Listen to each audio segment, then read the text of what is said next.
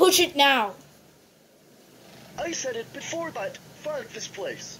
I have my fingers in a boat hole.